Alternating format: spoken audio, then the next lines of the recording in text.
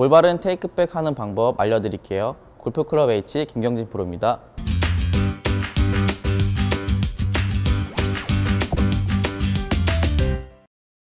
첫 단추를 잘 깨워야지만 나머지 단추 역시 잘 깨울 수 있듯이 골프 스윙에 있어서도 테이크백 동작은 굉장히 중요한 동작인데요. 많은 분들이 테이크백 때 이렇게 안쪽으로 많이 빠지신 분들이 많은데요.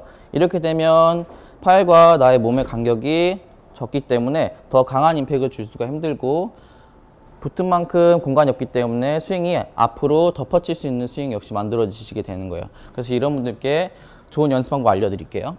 자, 샌드 웨지를 오른쪽 발에 밟은 상태에서 테이크백과 백스윙을 만들 때 이 클럽 위쪽으로 내 클럽 샷부터 헤드가 올라갈 수 있게끔 백스윙을 만들어 주시는 거예요.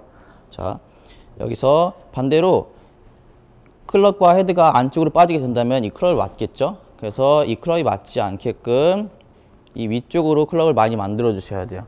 이래야지만 더 공간이 생기기 때문에 더 강한 임팩과 엎어치는